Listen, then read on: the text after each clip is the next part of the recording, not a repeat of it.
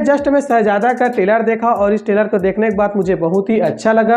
क्योंकि फ्रेंड इस मूवी में कार्तिक आर्यन का जो एक्टिंग है और इस मूवी जो परफॉर्मेंस देने वाले हैं, वो बहुत ही काफिले तारीफ़ है। और कार्तिक आर्यन का मैं डाई हार्ट फ़ैन हूँ और इस मूवी को फ्रेंड 10 फरवरी को मैं देखने के लिए ज़रूरी जाऊँगा, वो भी थिएटर में। ट्रेलर की बात किया जाए तो आप सभी लोग पता है कि 2020 में आया था अल्लू अर्जुन का मूवी, आला बेकन पुरमलू। और आप सभी लोग पता है कि फ्रेंड वह मूवी सुपरहिट ब्लॉकबस्टर मूवी है और उस मूवी का फ्रेंड यह मूवी रीमेक है शहजादा पूरे ट्रेलर की बात किया जाए तो कार्तिक आर्यन बोलते हैं कि मैं इस घर में क्यों नहीं जा सकता हूँ? और उन सब बातों को फ्रेंड 2020 में जो ट्रेलर आया था, अल्लू अर्जुन का, वैसा मुझे सेम लगा।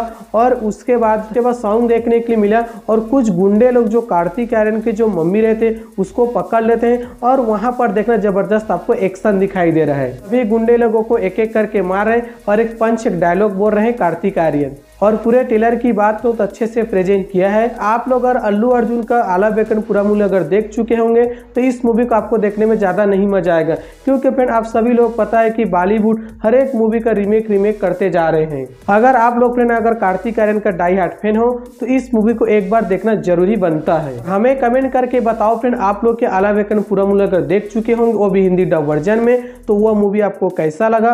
और फ्रेंड इस मूवी को आप देखने के लिए वेट कर रहे हो कि नहीं? वेट कर रहे हो शहजादा मूवी को हमें कमेंट करके यह सुनो, ज़रूरी बताना। इसी अपडेट पाने के लिए फ्रेंड हमारे चैनल को सब्सक्राइब कर देना, प्यारा सा लाइक कर देना और शेयर कर देना। अगले वीडियो में मिलता हूँ फ्रेंड टेक केयर बाय